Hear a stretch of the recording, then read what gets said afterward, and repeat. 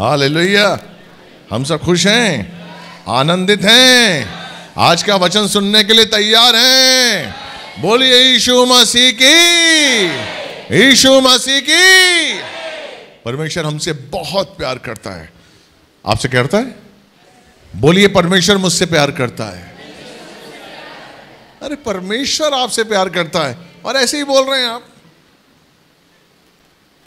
Lord कौन मुझसे प्यार करता है? तो जब आप अंगीकार कर रहे हैं कि परमेश्वर मुझसे प्यार करता है तो उस अंगीकार में भी सामर्थ होना चाहिए। परमेश्वर मुझसे प्यार करता है। कोई छोटी बात नहीं है।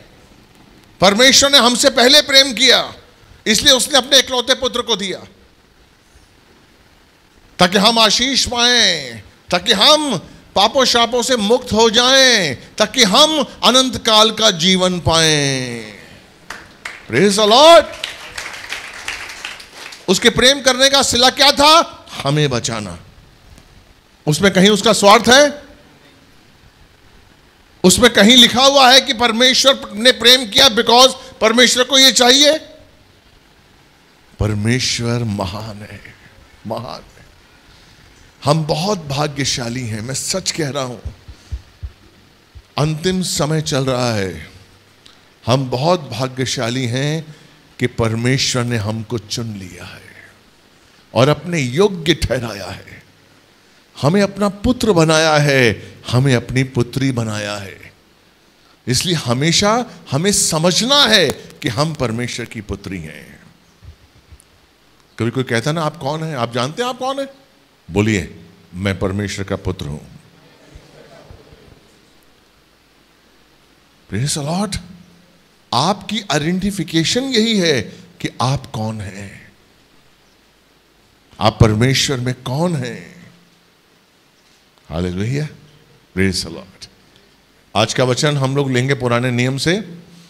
दाऊद, जो कि परमेश्वर के दिल के करीब था आज हम दाऊद और गोलियत की कहानी से कुछ सीखेंगे। दाऊद, जो कि छोटा सा बालक था, और गोलियत बहुत ही बड़ा था। प्रेज लॉर्ड हालेलुया गोलियत की लंबाई, चौड़ाई कितनी थी, पता है किसी को? कोई बताएगा गोलियत?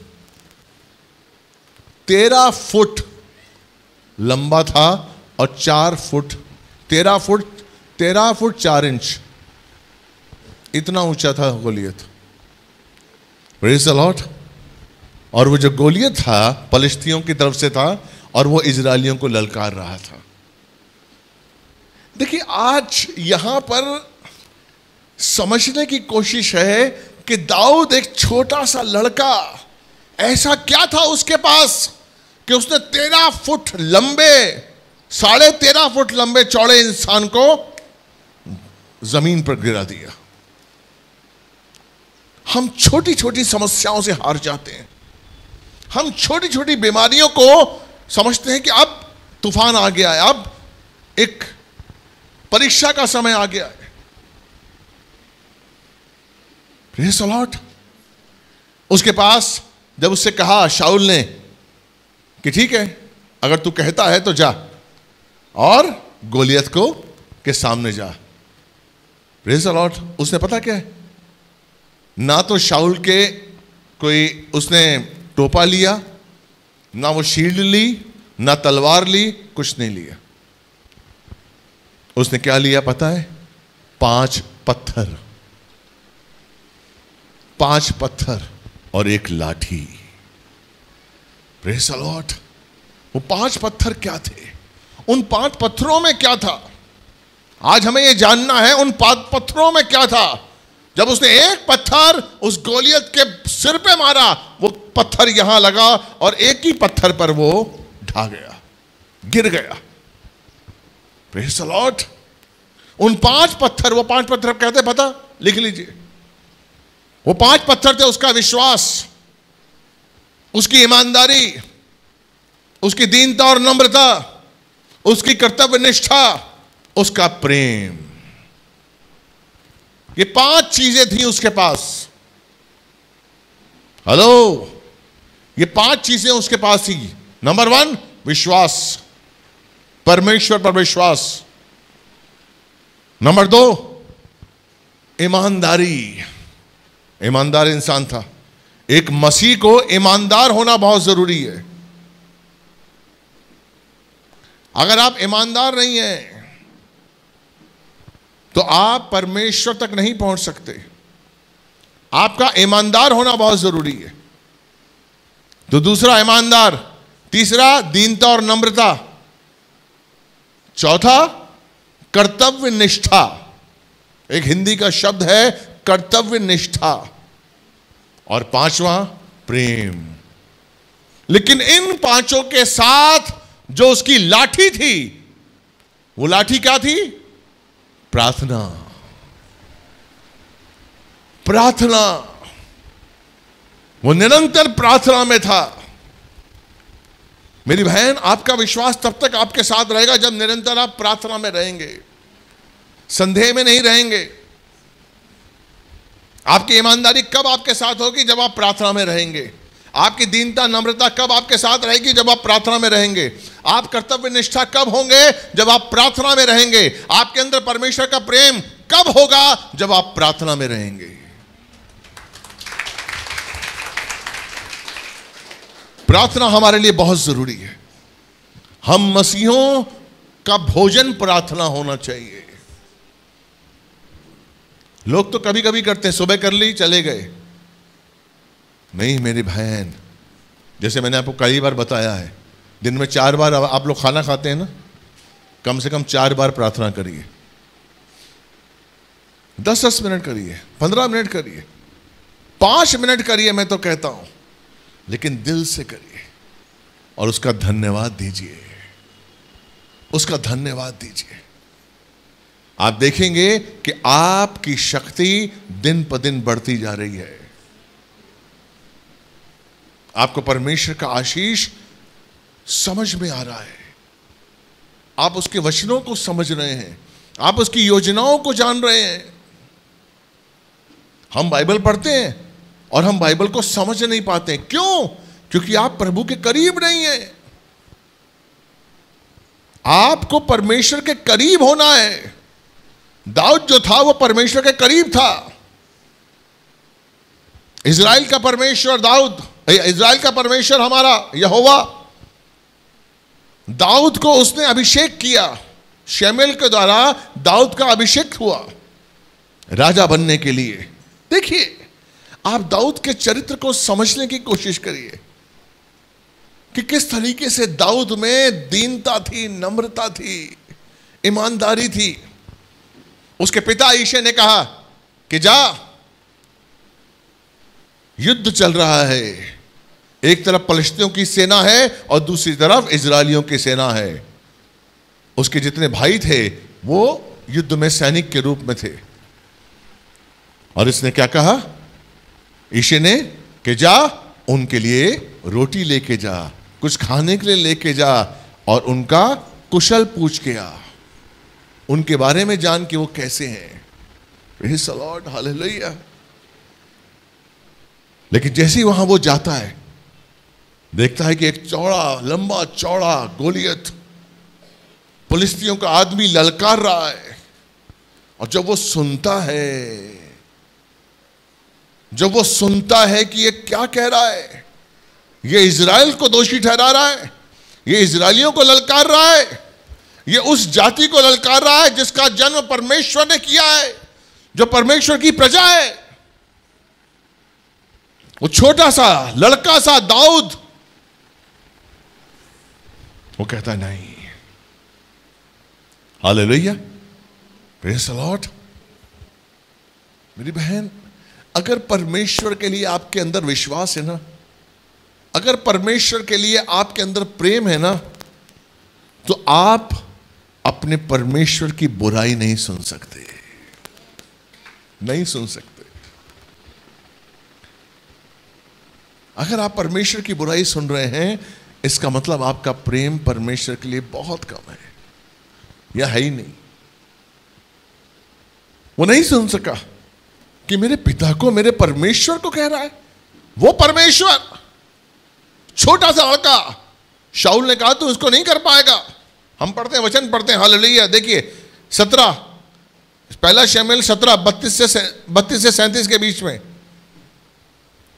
देखिए शाउल दाऊद को क्या बता रहा है और दाऊद क्या जवाब दे रहा है? वो एक मंडप में है, एक तंबू में है। गोलियत खड़ा हुआ है। फलस्तियों की सेना उस तरफ़ खड़ी हुई है इसराइल की सेना इस तरफ़ खड़ी हुई है और इसराइल का जो राजा है शाउल वो वहाँ पर बैठा हुआ है, बेबस। कुछ कुछ कर नहीं पा रहा है और यहाँ पर दाऊद आता है और वो कहता है कि मैं इसका साथ दूँगा, मैं इसको मारूँगा। लॉर्ड यहाँ पर वो क्या कहता है? सत्रह का बत्तीस। तब दाऊद ने शाउल से कहा, किसी मनुष्य का मन उसके कारण कच्चा ना हो। किसी भी मनुष्य का हिमैन, लोग डर रहे थे। इसराइलीज घबरा रहे थे। जब गोलियत कह रहा था कि है कोई जो मेरे संग आके लड़ेगा, अगर कोई मुझको हरा देगा तो फलस्तियों की पूरी सेना उसकी गुलाम बन जाएगी। लेकिन अगर मैं हरा दूँगा तो आप सब मेरे गुलाम बन जाएँगे। वो ललकार रहा था चालीस दिन से। और चालीस दिन से ललकार रहा था और कोई उसके सामने नहीं आ रहा था। कोई सामने नहीं आ रहा था। दाऊद को जब ये पता लगा कि वो परमेश्वर की प्रजा को ललकार रहा है तो उसने क्या कहा? बोली बेटा। किसी का मन उसके कारण कच्चा ना हो। किसी का मन उसके कारण कच्चा ना हो उसकी आवाज़ है। तेरा दास जाकर उस पलिस्ती से लड़ेगा। आमेन आमेन हेलो तेरा दास जाकर उससे लड़ेगा। प्रेज लॉर्ड क्या था उसके पास? सुनिए। शाऊल ने दाऊद से कहा हाँ। तू जाकर उस पलिस्ती के विरुद्ध युद्ध नहीं कर सकता। इज़राइल का राजा वो कह रहा है कि तू नहीं कर सकता है। तू नहीं कर सकता है उसके विरुद्ध युद्ध। हाँ जी। क्योंकि तू तो लड़का ही है। तू तो लड़का है।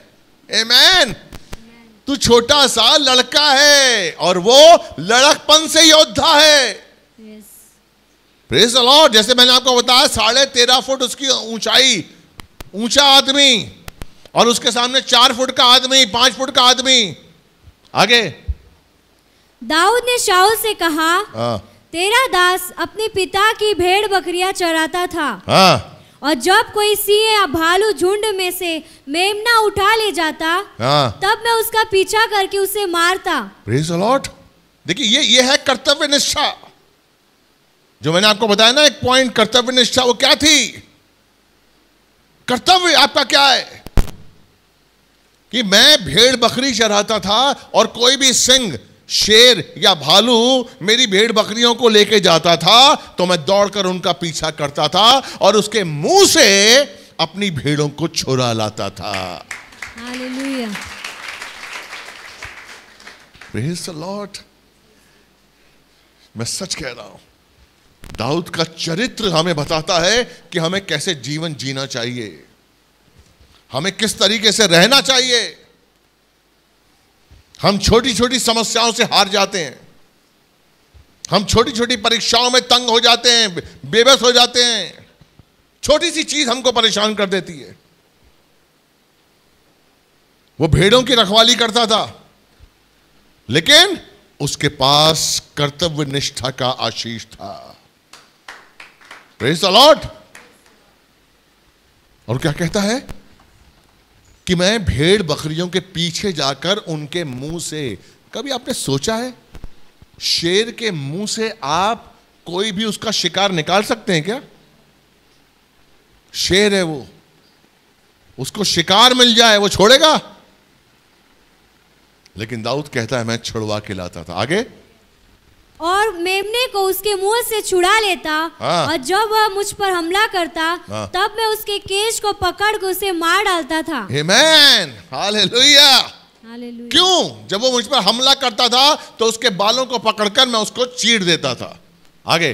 तेरे दास ने सिंह और भालू दोनों को मारा है। हाँ। और वह खतना रहित पलिस्ती उसके उनके समान हो जाएगा। अब बता रहा है कि मैं कौन हूँ। वो कह रहा तू मुझे लड़का समझ रहा? ऐ शाहुल तो मुझे लड़का समझ रहा है? मैं सिंह और भालू को मार सकता हूँ। और जब परमेश्वर मुझे सिंह और भालू को मारने का सामर्थ्य देता है तो ये पलिश्ती क्या है मेरे सामने? ये पलिश्ती क्या है मेरे सामने? हाल लोहिया लॉर्ड आगे बढ़ी जल्दी बढ़िए। क्योंकि उसने जीवित परमेश्वर की सेना को ललकारा। आमेन आमेन क्यों मैं इसका सर्वनाश करूँगा? क्योंकि इसने जीवित परमेश्वर की सेना को ललकारा है।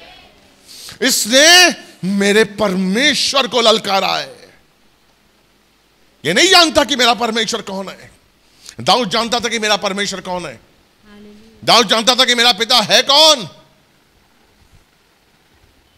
क्या आप जानते हैं कि आपका पिता कौन है? आपका इश्यू कौन है? उसमें कौन सा सामर्थ है क्या आप जानते हैं? नहीं जानते। अगर जानते तो परीक्षाओं के सामने घुटने नहीं देखते अगर जानते तो रोते नहीं। अगर जानते तो प्रार्थनाओं में मांगते नहीं, परमेश्वर हमारी रक्षा कर। नहीं। उसने प्रार्थना यह नहीं की कि हमारी रक्षा कर। वो जानता है कि मेरा पिता मेरे साथ है, मैं इनको मार डालूँगा हालेलुया वो जानता है कि वो कौन है। हमें पता होना चाहिए हम कौन हैं। कितनी भी कितना भी बड़ा संकट आपके जीवन में आ जाए वो कुछ नहीं कर सकता क्योंकि हमारे साथ परमेश्वर है। हालेलुया। कुछ नहीं कर सकता। इज़राइल की इतनी बड़ी सेना चुप कर बैठी है। दाऊद शाउल चुप कर बैठा है। देखिए आगे क्या कहता है वो जल्दी पढ़िए। फिर दाऊद ने कहा हाँ। यहोवा जिसने मुझे सिंह और भालू दोनों के पंजे से बचाया है हाँ। वह मुझे उस पलिसी के हाथ से भी बचाएगा। दोबारा पढ़िए। फिर दाऊद ने कहा यहोवा जिसने मुझे सिंह और भालू दोनों के पंजे से बचाया है वह मुझे उस पलिसी के हाथ से भी बचाएगा। कौन बचाएगा? परमेश्वर। हालेलुया आप चिन्ह मांगते कि मेरी ये बीमारी ठीक हो जाएगी तो मैं परमेश्वर के करीब रहूँगा। मेरी नौकरी लग जाएगी तो मैं परमेश्वर को नतमस्तक करूँगा। दाऊद क्या कहता है? अब तक का जीवन मेरा कौन संभाल रहा था? परमेश्वर। अब तक का आपका जीवन कौन संभाल रहा है? आपको रोटी कौन दे रहा है? परमेश्वर। The चाहे आप उसे नहीं जानते थे, तब भी आपको रोटी कौन दे रहा था? Lord. वो कहता शाहुल तू मुझे लड़का समझता है? मैं जब चरवाही करता था, भेड़ों को चराता था, और सिंह, शेर और भालू जब मेरी भेड़ों को उठा के ले जाते थे, मैं दौड़कर उनके मुँह से अपनी भेड़ों को बचाता था। और सुन शाउल उस समय जब मेरा परमेश्वर मेरा साथ देता था इस समय भी परमेश्वर मेरा साथ देगा। Praise विश्वास क्या है? यही तो है कि हम परमेश्वर को जानते हैं। हेलो विश्वास क्या है? इब्रानियों ग्यारह का छह पढ़िए। इब्रानियों ग्यारह का छह। और विश्वास बिना उससे प्रसन्न करना अनहोना है। Amen. विश्वास क्या है? कि हम उसे जानते हैं। और जब तक विश्वास नहीं होगा तब तक आप उसे प्रसन्न नहीं कर सकते हैं। इसी का ग्यारह का एक पढ़िए। अब विश्वास आशा की हुई वस्तुओं का निश्चय और अनदेखी वस्तुओं का प्रमाण है। Amen. विश्वास, आशा की वस्तुओं का निश्चय। जिस चीज़ की आपने आशा की है, वो आपको मिलेगी, यह है विश्वास। यह है मसीहों का विश्वास। जिस चीज़ की मैंने आशा की है, वो मुझे मिलेगी। आशा की हुई वस्तुओं का निश्चय और अनदेखी प्रमाण। दोबारा पढ़ो, अनदेखी और अनदेखी वस्तुओं का प्रमाण है। प्रमाण है, चिन्ह है। यह है विश्वास। उसने क्या आशा की? कि मैं इसको मारूँगा। क्यों मारूँगा? क्या दाऊद का उससे कुछ पर्सनल दुश्मनी थी? क्या दाऊद के संग पर्सनल दुश्मनी थी उसकी? क्या किया था उसने? उसके परमेश्वर को ललकारा था। उसके परमेश्वर को आपने, उसने कमज़ोर कहा था। उसने उसकी जाति को ललकारा था। लॉर्ड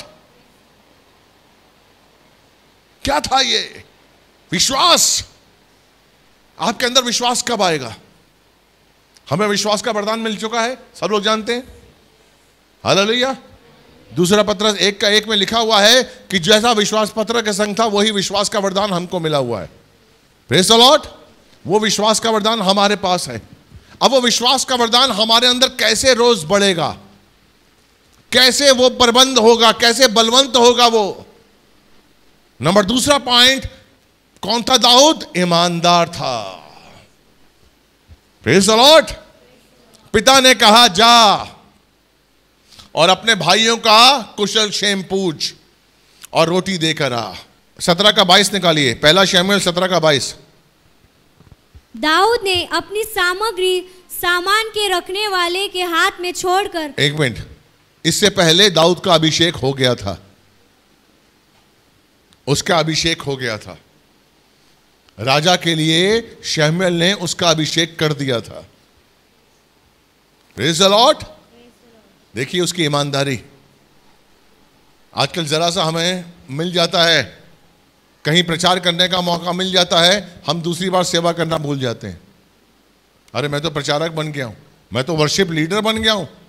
अब मैं कुर्सियाँ कैसे साफ़ करूँ? अब मैं सेवा कैसे करूँ? नहीं।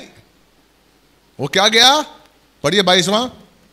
दाऊद अपनी सामग्री सामान के रखने वाले के हाथ में छोड़कर हाँ। रणभूमि को दौड़ा और अपने भाइयों के पास जाकर उनका कुशल क्षेम पूछा। Amen. सबसे पहले उसने क्या काम किया? जो पिता ने आज्ञा दी थी।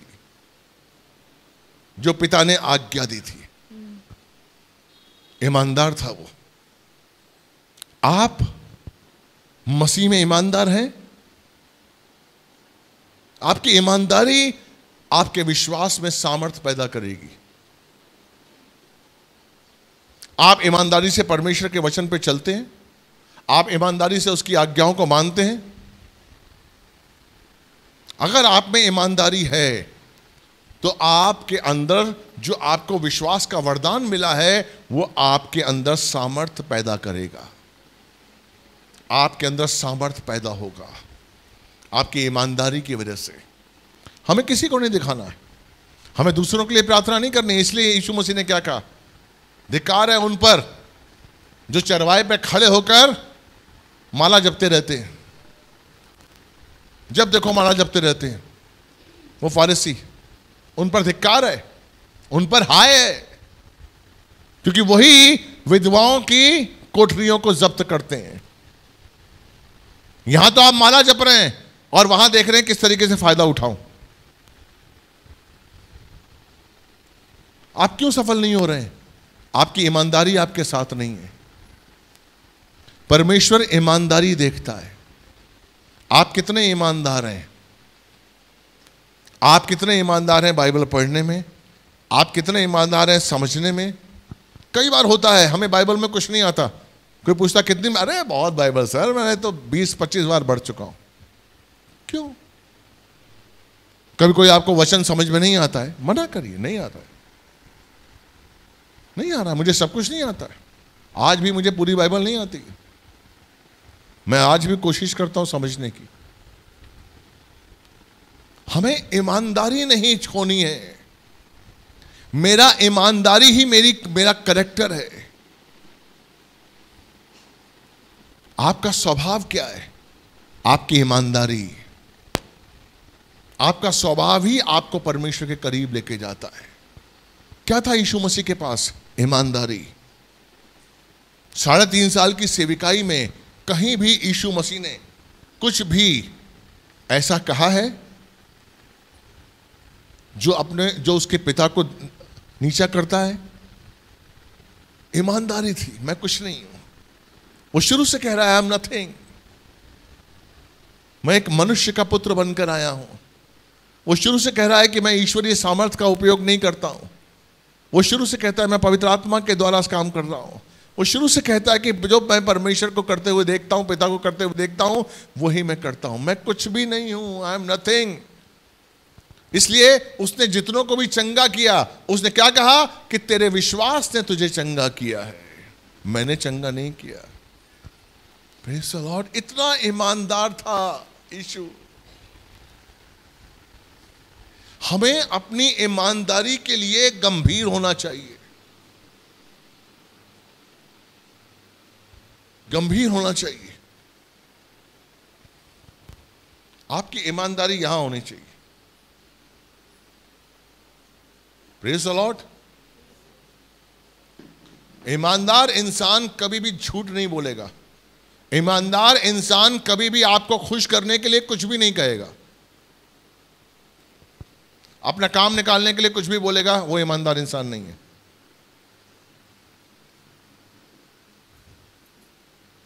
ईमानदार होना ज़रूरी है। दाऊद ईमानदार था। लॉर्ड ईमानदार था। जब वो वहाँ से आया, जब ईशी ने कहा प्रेज लॉर्ड इसी का बीस पढ़िए। इसी का बीस, सत्रह का बीस। अतः दाऊद सवेरे उठा और भेड़ बकरियों को किसी रखवाले के हाथ में छोड़कर ईशे की आज्ञा के अनुसार उन वस्तुओं को लेकर चला। Amen. जो पिता ने आज्ञा दी थी, उसका काम क्या क्या था? भेड़ बकरियों को चराना। जब पिता ने आज्ञा दी कि जा, अपने भाइयों का कुशल क्षेम पूछ और ये खाना देकर आ।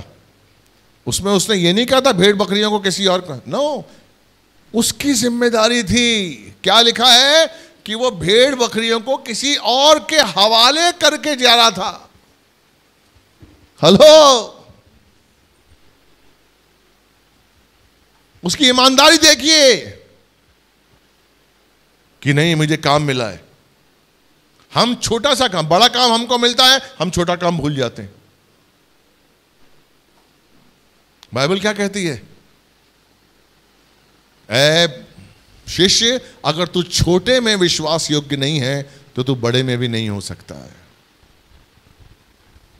कई बार हम सपना देखते हैं कि हमें आशीष मिले, हमें बड़ी नौकरी मिले, और होता क्या है? मैं कईयों को देखा है, आपकी बात नहीं कर रहा हूँ, मैंने बड़े से बड़ों को देखा है। मांगते हैं, प्रभु, हमें आशीष दे, हमें बरकत दे बरकत दे बरकत दे। और जैसे ही परमेश्वर बरकत देता है, जैसे ही परमेश्वर घर देता है, चेंज। उनका नज़रिया चेंज हो जाता है। प्रभु के लिए। गलत है। कैसे चेंज हो सकता है? मैं जो पहले प्रभु में था, मैं आज इसलिए प्रकाशित वाक्य दो में लिखा हुआ है कि तुम्हारा पहला प्यार कहाँ गया? क्यों हमारा पहला प्यार पहले की जगह तरह नहीं होता? वो वो तड़प यीशु मसीह में। वो यीशु मसीह के लिए तड़पना, वो यीशु मसीह के लिए आना। क्यों? वो पहला प्यार तेरा कहाँ गया? लॉर्ड हमारा पहला प्यार, आप सावधान रहिए कि हमारा पहला प्यार कभी खत्म ना हो। वही तड़प, वही जुनून, वही पागलपन, वही प्रेम प्रभु को पाने का हमारे अंदर हमेशा रहना चाहिए। उसको ढूँढने की भूख हमेशा रहनी चाहिए। लॉर्ड इसलिए वो ईमानदार था। वो गया, लेकिन अपनी भेड़ों को भी उसने देखा कि नहीं नहीं, ये मेरी भेड़ें किसी और के साथ रहें। उसने सेवकों को बोला, प्लीज़, मेरी भेड़ों की रखवाली करिएगा, क्योंकि मेरे पिता ने आज्ञा दी है कि मैं जाऊँगा उस युद्ध के मैदान में और उनका, उनको खाना देकर आऊँगा और उनकी कुशल चेम पहुँच पूछ के आऊँगा। लॉर्ड ये हमें कहने की ज़रूरत नहीं है। हम चर्च में आते हैं, सबको पता है क्या क्या काम करना है। लेकिन किसी किसी को हमें दस बार बोलना पड़ता है। ये किया ये किया ये किया और किसी को नहीं। आप क्या समझते हैं? परमेश्वर नहीं देख रहा है। आपकी ईमानदारी पर आपको रिवार्ड मिलेगा। आपको पता है, याकूब की पत्री चार का सत्रह क्या कहती है? यदि आप अच्छा काम जानते हैं और नहीं करते हैं तो पाप है। आपको जो कहा गया है, आप घर से बोल के गए कि अपनी बीवी के लिए कि आपको बीवी को खाना बनाना है। सुबह बनाना है, दोपहर बनाना है और रात को बनाना है। क्या आपका पति आपको रोज बोलेगा, खाना बनाया? फिर दोपहर खाने, रात को बनाया? बोलेगा, नहीं, आपकी ड्यूटी है। उसका काम है घर का संभालना, बाहर का संभालना, आपकी ड्यूटी है घर को संभालना। वो भी ईमानदारी से। आप अगर ईमानदार नहीं हैं तो आप आशीष नहीं पा सकते। दाऊद ईमानदार था। हमें सिर्फ़ मसीह में ही नहीं, अपने पारिवारिक जीवन में, अपने धंधे में हमें ईमानदार होना है। लॉर्ड हालेलुया तीसरा पॉइंट क्या है? दीनता और नम्रता। दाऊद में क्या थी? दीनता थी, नम्रता थी। बड़े भाई ने कहा तो क्या कर रहा है यहाँ पर? मैं जानता हूँ तो यहाँ क्यों आया है। युद्ध देखने के लिए आया है ना? टाइम पास करने के लिए आया है? लेकिन दाऊद ने कहा, नहीं. क्या चीज़ दाऊद को रोक पाई वहाँ पर? आपकी दीनता और नम्रता आपको क्या सिखाती है? परमेश्वर सबसे ज़्यादा, अगर आप में कुछ भी देखता है, याद रखिए, वो आपके अंदर आप, आपकी दीनता देखना चाहता है। कि आप में दीनता है कि नहीं है? व्यवस्था विवरण आठ का दो। याद रखिए परमेश्वर आपकी परीक्षा करना चाहता है करता है ताकि आप में दीनता देखे। पढ़िए बैठे व्यवस्था विवरण आठ का दो। स्मरण रख कि तेरा परमेश्वर यहोवा हाँ। उन चालीस वर्षों में तुझे सारे जंगल के मार्ग में से इसलिए ले आया है कि वह तुझे नम्र बनाए और तेरी परीक्षा करके यह जान ले कि तेरे मन में क्या क्या है लॉर्ड क्यों लेकर आए जंगल में? ताकि उसको नम्र बनाए, दीन बनाए। प्रेज लॉर्ड परमेश्वर को यह चिंता नहीं है। परमेश्वर ये नहीं कह रहा है कि मैं तुम्हें जंगल में लेकर आया, अभी तुम ईटा ईटा बनाना सीख रहे थे, अब तुम लकड़ी का काम करना सीखो। अब तुम बिल्डिंग बनाना सीखो, ताकि तुम आगे जाकर कुछ कमा सको।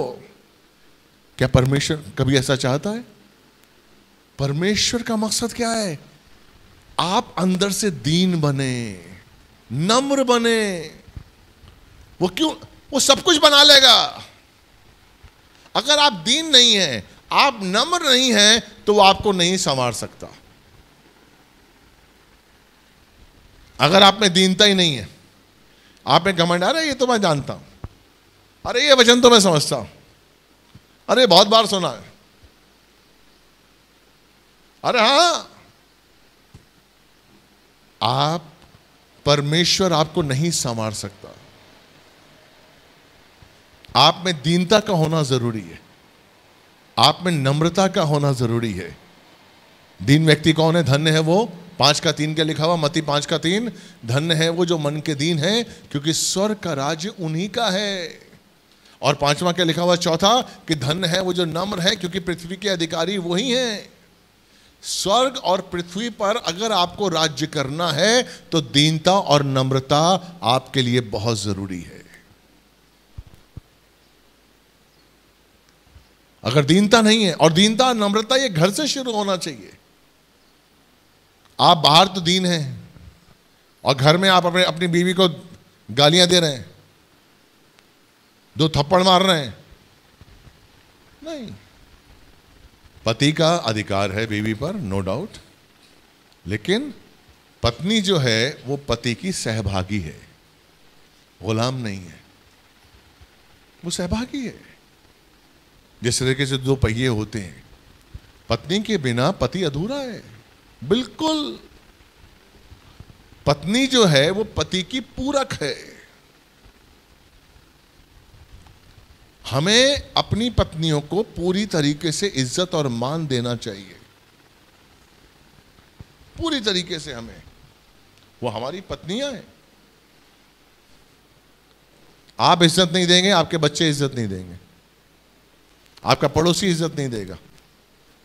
और कई लोग समझते हैं कि पत्नी की बेवकूफ़ी करके, उसकी बेइज्जती करके आप सबके सामने घमंड करते हैं, गलत है। हाँ मज़ाक अलग बात है, लेकिन पत्नी आपकी अर्धांगनी है। रेस अलॉट इसलिए बहुत ज़रूरी है कि हम पत्नी को किस तरीके से रखें। दीनता और नम्रता हमारे लिए ज़रूरी है। उपवास भी परमेश्वर क्यों चाहता है कि हम करें? ये अट्ठावन का पाँच। उपवास क्यों चाहता है? ताकि हम दीन बने ताकि हम नम्र बने। पढ़िए बेटा। जिस उपवास से मैं प्रसन्न होता हूँ अर्थात जिसमें मनुष्य स्वयं को दीन करे क्या तुम इस प्रकार करते हो? Amen. जिस उपवास से मैं प्रसन्न होता हूँ वो ये है कि मनुष्य खुद को दीन करे। क्या तुम ऐसा करते हो? ये परमेश्वर सवाल कर रहा है। हमने चालीस दिन का उपवास रखा। क्या उसमें अपने आप में दीन किया? आपने सबसे बोला, चालीस दिन से मैं कुछ नहीं, खाया हूँ। चालीस दिन से एक टाइम ही खाना खा रही हूँ मैं, बिल्कुल। दोपहर को बिल्कुल खाना नहीं। आप में दीनता आई? आपके स्वभाव में दीनता? लॉट नम्रता। दीनता नम्रता का मतलब मतलब क्या है? आपका पास्टर आपको बोल दे, ये काम गलत है, आप मान जाएँगे। पास्टर ने बोला है। आपकी सास ने बोल दिया, ये काम गलत कर रही है। जी, ओके। लेकिन आपके पड़ोसी ने बोला तू कौन होता मुझे बोलने वाला? कि मैं गलत हूँ।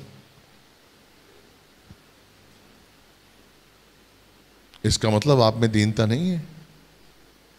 हमारी दीनता हमेशा रहनी चाहिए। और दीनता का मतलब क्या है? कि आपने सुनकर अगर आप रूठ गए, अगर आपको बुरा लगा तो आप में दीनता है ही नहीं। है ही नहीं, बिल्कुल नहीं आप अपना इलाज कराइए। इलाज कराइए आप। अगर आपको किसी का कहना, किसी की शिक्षा सुनकर बुरी लगती है तो इट मीन्स आप में दीनता और नम्रता दोनों नहीं है। चुप रहना दीनता नहीं है। कि मैं चुप हूँ? तो आप समझ रहे हैं दीन है? नहीं है। अंदर से मेरे मन में क्या चल रहा है? परमेश्वर अंदर, अंदरूनी मनुष्यत्व को देखता है। प्रेस लॉट अंदर से आप खेदित हो रहे हैं। अंदर से आप सामने वाले को गाली दे रहे हैं। अंदर से आपको बुरा लग रहा है और बाहर से आपको चुप है। आप सफल नहीं है। परमेश्वर की नज़र में, वचन के अनुसार आप सफल नहीं है। प्रेस लॉट बच्चा, छोटा बच्चा होता है। आप उसको डांटिए, मारिए, वो रोकर फिर आपकी गोदी में आ जाएगा। फिर आपसे चिपट जाएगा वो। मेरा बेटा अभी तक करता है। गलती करता है, गुस्सा करता हूँ। फिर कुछ मिनट के बाद आई एम सॉरी पापा। तो इसका मतलब आप अंदर कुछ नहीं रख रहे हैं। अगर आप मन में कुछ रख रहे हैं इट मीन्स आप दीनता नहीं है आप में। हमारा मन अंदर से पवित्र होना चाहिए। हमारा मन अंदर से दीन होना चाहिए। हम अंदर से ईमानदार होने चाहिए। हमें बाहर दिखावे की ज़रूरत नहीं है। अलॉट बिल्कुल भी हमें बाहर दिखावे की ज़रूरत नहीं है। इसलिए जो ही दाऊद था, वो दीन था, नम्र था। प्रेज लॉर्ड और जैसे ही उसने उस पत्थर को मारा, जैसे ही उसने उस पत्थर को लिया और अपने गोफन में लगाकर गोलियत को मारा और वो मर गया। प्रेज लॉर्ड और वो गया और उसकी तलवार उसने ली और उसका गला काटा। पता कहाँ ले गया उसके गला काट कर वो? लिखा हुआ है, यरूशलेम ले गया। पता यीशु मसीह जो क्रूसीफाइड हुए थे, उस पहाड़ी को क्या कहते थे? कोई बताएगा मुझे? जहाँ यीशु मसीह क्रूसीफाइड हुए थे उस पहाड़ी को क्या कहते थे? जहाँ क्रूस पर मरे थे।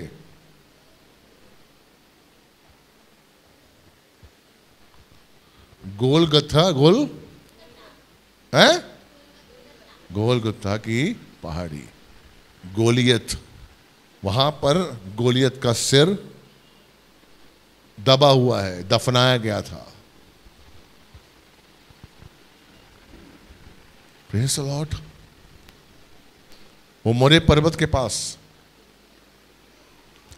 इसलिए आप अपने, जब आप ईमानदार और विश्वास के संग, दीनता और नम्रता के संग परमेश्वर को, के साथ रहेंगे तो परमेश्वर आपको बताएगा कि आपको क्या करना है। परमेश्वर आपको बुद्धि देगा कि आपको क्या करना है। आपको बुद्धि कौन देता है? प्रेस लॉर्ड इसलिए परमेश्वर का प्रेम अगर आप में नहीं है तो पांचवा पॉइंट क्या है? परमेश्वर का प्रेम। दाऊद के अंदर क्या था? परमेश्वर का प्रेम। वो अपने परमेश्वर पिता की बुराई नहीं सुन सकता था कि मेरे परमेश्वर को कोई ललकारे? वो छोटा सा लड़का था शाउल कह रहा है कि तू छोटा है भाई, तू लड़का है, तू नहीं लड़ पाएगा। और वो कहता है, मैं लड़ूँगा। इसने मेरे परमेश्वर को ललकारा है। लॉर्ड आप कितना परमेश्वर के करीब हैं। यह बताता है, आपका प्रेम क्या है? और उस प्रेम को बनाए रखने के लिए आप क्या करते हैं? पहला यहोन्ना चार का सोलह बताता है। पहला यहोन्ना चार का सोलह कि परमेश्वर का प्रेम क्या है? पढ़िए बेटा। जो प्रेम परमेश्वर हमसे रखता है उसको हम जान गए हैं और हमें उसका विश्वास है। परमेश्वर प्रेम है और जो प्रेम में बना रहता है वह परमेश्वर में बना रहता है Amen. और परमेश्वर उसमें बना रहता है। Amen. जो प्रेम में बना रहता है, वो परमेश्वर में बना रहता है और परमेश्वर उसमें बना रहता है। परमेश्वर नहीं जाता आपके अंदर से, अगर आपके अंदर प्रेम है। लेकिन अगर आपके अंदर दीनता नहीं है, अगर आपके अंदर कठोरता है, आपके अंदर नफरत है, आपके अंदर घृणा है, आपके अंदर स्वार्थ है तो आपको अंदर परमेश्वर नहीं है। परमेश्वर प्रेम है। परमेश्वर का प्रेम ही आपको शक्ति देता है। इसलिए बाइबल में लिखा हुआ है कि अपने अंदर नफरत मत आने दो। कोई अगर तुम्हारे एक गाल पे थप्पड़ मारे, दूसरा गाल आगे कर दो। कोई अगर तुम्हें सताए तो उसके लिए प्रार्थना करो। दुश्मनों को माफ़ करो। अपने अंदर नफरत मत आने दो। क्योंकि अगर तुम्हारे अंदर नफरत आई तो परमेश्वर का प्रेम निकल जाएगा। और अगर परमेश्वर का प्रेम आपके अंदर से निकल गया तो परमेश्वर आप में नहीं होगा। लॉर्ड ये सब कुछ आपको जो पापों शापों से मुक्त किया है, आपकी बुद्धि खोली है, ताकि आप परमेश्वर की भलाई को देख सकें। क्यों? ताकि परमेश्वर अपने प्रेम को, आपकी बुद्धि क्यों खोलता है परमेश्वर? पता है आपको? परमेश्वर आपकी बुद्धि क्यों खोलता है? जब आपको पापों से मुक्त करता है, क्यों बुद्धि खोलता है? ताकि आप उसकी भलाई को देख सकें। आप उसकी भलाई को देख सकें और उसकी भलाई के भलाई के साथ चल सकें।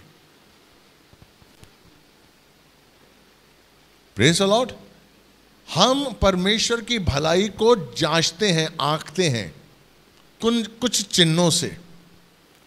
आपको नौकरी अच्छी मिली, हम उसकी भलाई को देखते आपका धंधा आज अच्छा हो गया, हज़ार रुपए आपने कमाए, हम उसकी भलाई को देखते हैं।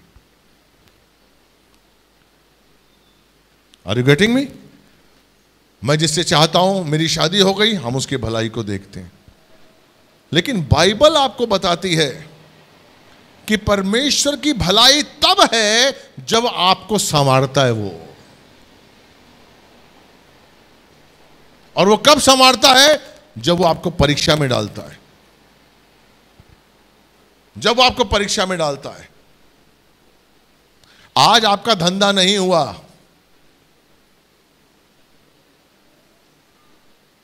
आपके पास जितने पैसे थे, आपने सामान बना लिया।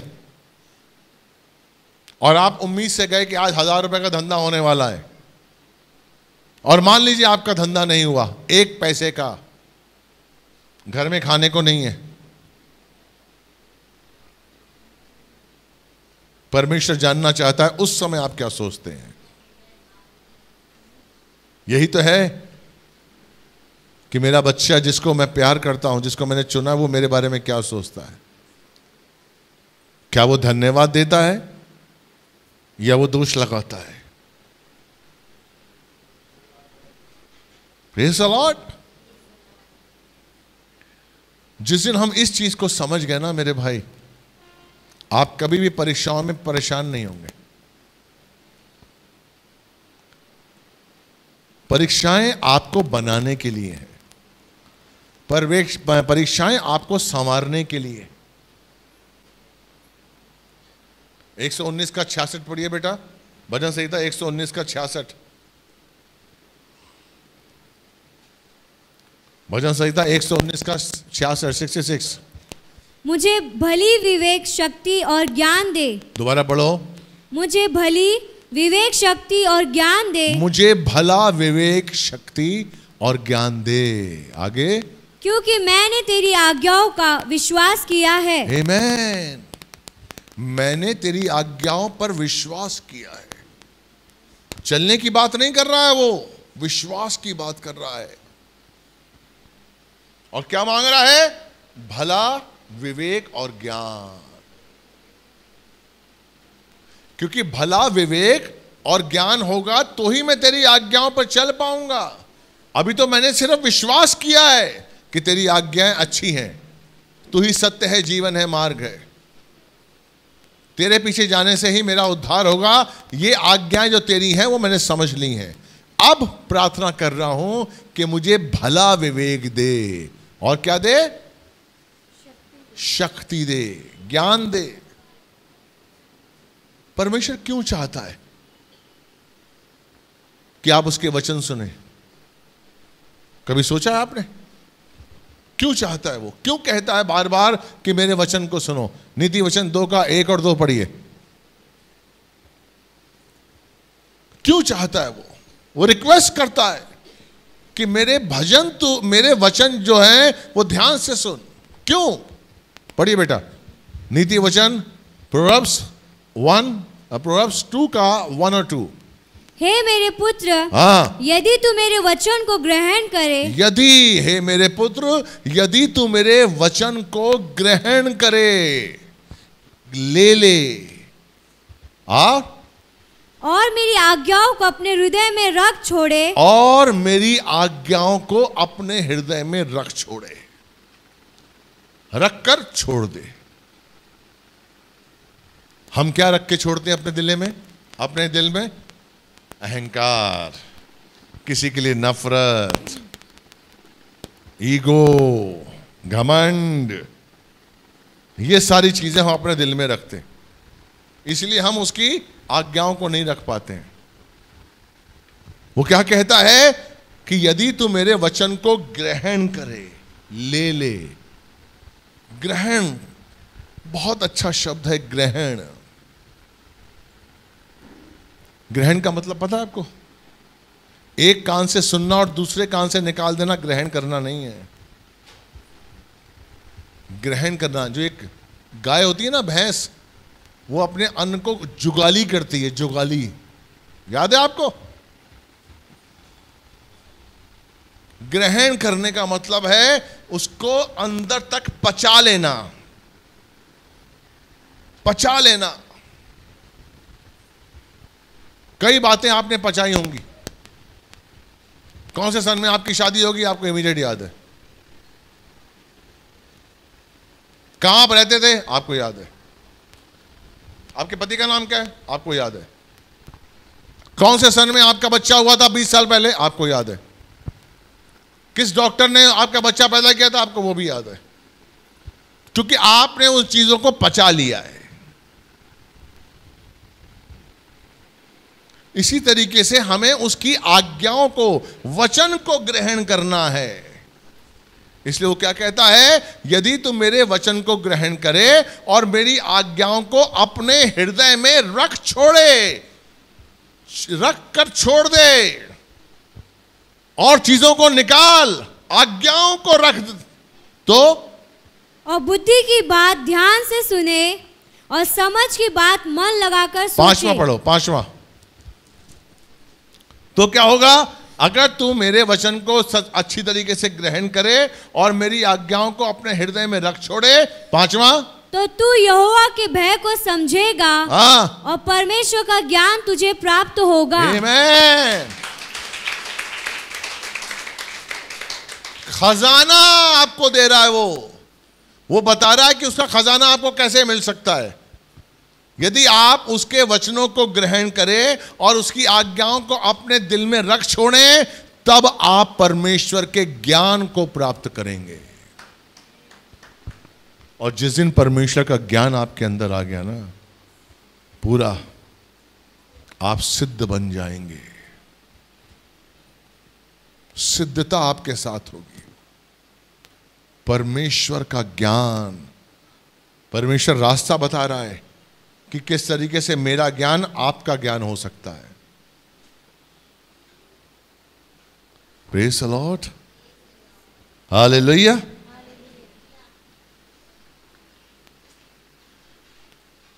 क्योंकि वो बहुत सीरियस है। परमेश्वर बहुत सीरियस है। भजन संहिता 92 का पाँच। बहुत सीरियस है परमेश्वर। उसने आपको यूँ ही नहीं चुना है कि आप अच्छे दिखते हैं आपकी हाइट अच्छी है आपका कलर अच्छा है आपका नाक अच्छी है इसलिए उसने आपको चुना है क्या? वो आपके लिए बहुत गंभीर है। भजन संहिता 92 का पाँच। हे यहोवा हाँ। तेरे काम क्या ही बड़े हैं हाँ। और तेरी कल्पनाएँ बहुत गंभीर है। गंभीर है। क्या आप गंभीर हैं?